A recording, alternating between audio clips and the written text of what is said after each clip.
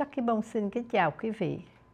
Sau một năm rưỡi Tổng thống Trump nhậm chức, nền kinh tế Hoa Kỳ đang tiến triển mạnh và mức thất nghiệp 3.9% được coi là thấp nhất, nên dân chúng hân hoan chi tiền thoải mái và khen tặng Tổng thống cho họ thấy họ giàu thêm.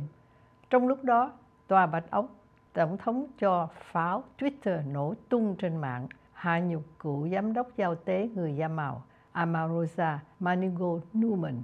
Bà Amarosa bị Tổng thống sa thải vào tháng 12 năm 2017.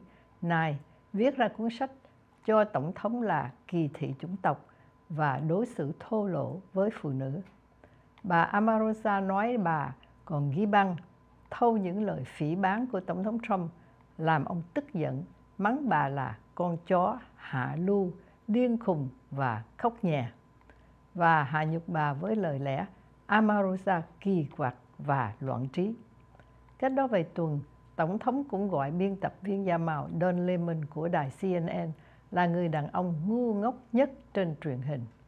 Trước đó, Tổng thống cũng nghi ngờ trí thông minh của vua bóng rổ da màu của đội Los Angeles Lakers LeBron James và nhận xét là dân biểu da màu Maxine Waters có IQ trí tuệ thấp. Tuy vậy, ông cũng gọi bà Ariana Huffington, người da trắng sáng lập hãng tin Huffington Post là con chó, cũng như hà nhục thượng nghị sĩ Ted Cruz của tiểu bang Texas là nói dối như con chó. Tổng thống hay công kích đến những ai chỉ trích ông không phân biệt màu da. Bị xúc phạm, bà Amarosa khẳng định sẽ hợp tác và chia sẻ mọi thông tin cần thiết với công tố viên đặc biệt Bob Mueller đang xét xử để truy tố ông Paul Manafort, cựu giám đốc chiến dịch tranh cử của Tổng thống Trump về tội gian lận thuế và ngân hàng. Bà Amorosa nói là sau bao nhiêu năm bên vực Tổng thống, bà đã thức tỉnh và tiết lộ là Tổng thống nhiều lần dùng chữ Negro, mọi đen, một từ ngữ hết sức tồi tệ bị cấm để nhục mạ và hạ cấp người da màu. Bà cho Tổng thống thể hiện rõ những dấu hiệu tình trạng tâm lý bất ổn và hành xử như một con chó tuột xích. Cuốn sách của bà Amarosa sẽ được ra mắt vào ngày 14 tháng 8.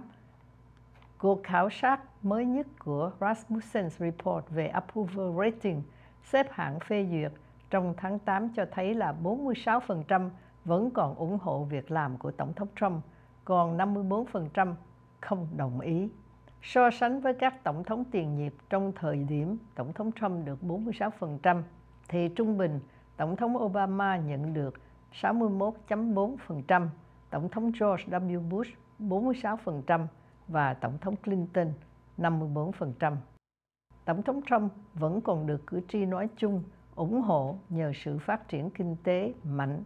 Tuy Tổng thống cũng bị phiền hà rất nhiều vì những lời lẽ bộc trực của ông làm nhiều người bất mãn. Tuy nhiên, ông không bị thất sủng vì sức mạnh và tính can trực của ông. Jackie Bông xin kính chào quý vị.